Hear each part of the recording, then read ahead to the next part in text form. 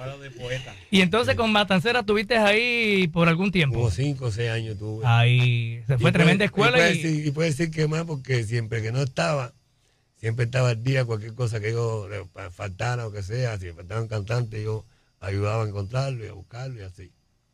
tremendo. Y después que está con la Sonora Matancera, eh, ¿qué pasó después de la Sonora Matancera? Bueno, ya ahí después de sonar Matancera me empaté con, con, con este, con Pacheco. Ahí que Pacheco te, te descubre también, me imagino en un baile, una tarima, y dice, No, ese ya cubano Pacheco estaba como, como hacía rato me estaba observando. observando.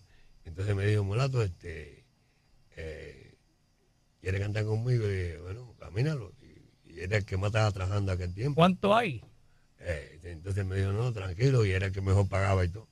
Entonces me dio un disco, me dijo, apréndete estos dos números, dos, dos tres números.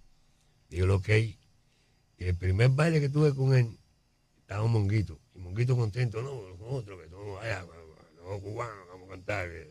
Digo, oye, yo no vine para eso. Yo vine a cantar. Entonces se puso celoso. Monguito se puso celoso, ¿por qué? Porque yo empecé a cantar pescado frito, pescador, el nombre que tienen ellos. Entonces me pongo a me inspirar eso, entonces el hombre me da con el codo por, el- por la costilla, como que, ¿sabes? Que lo dejara también inspirar. Y eso a mí no me gustó, ¿sabes? Yo estoy criado en un ambiente un poquito fuerte. Y yo cogí y le dije a Pacheco, mira Pacheco, fíjate con Monguito, que ya Monguito ha grabado contigo, lo conoce todo el mundo.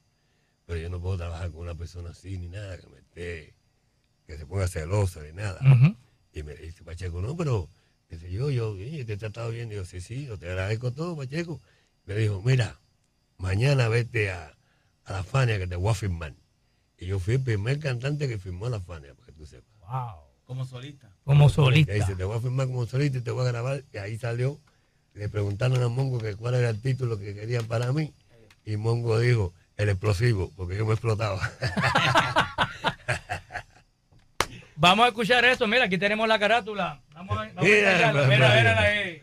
Entonces, fue, fue, oye, pero fue bueno el codazo que te dio Monguito. eh, que, que tú, No, no fue tan porque, duro, no pero, fue pero fue duro, bueno pero- para tu carrera, porque tú Sí, dices, voy, a, voy a terminar peleando con Monguito. Mejor es celo, irme de la que orquesta. Tenía celo, yo me tiraba el pelo, como yo, te- yo tenía un afro grande, Ah. pero me tiré el pelo y me puse que parecía un moro eso.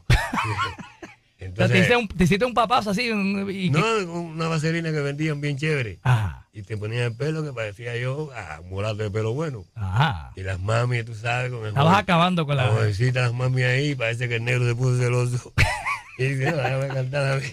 Puso celoso por, porque le estabas tumbando a las novias y porque tenías tu esquina y tu sabor también. Sí, este negro está muy fuerte que hay que meterle con un bate. Yo no, yo no estoy para eso, yo me voy. Y tú dijiste, "Mm, yo mejor me voy porque vamos a terminar peleando aquí en Sí, Tarima. lo y es. entonces Pacheco dice, espérate, que este, este me- no lo podemos y ir. al otro Este, día me aquí hay firmó- mucho Y talento. me firmó al otro día.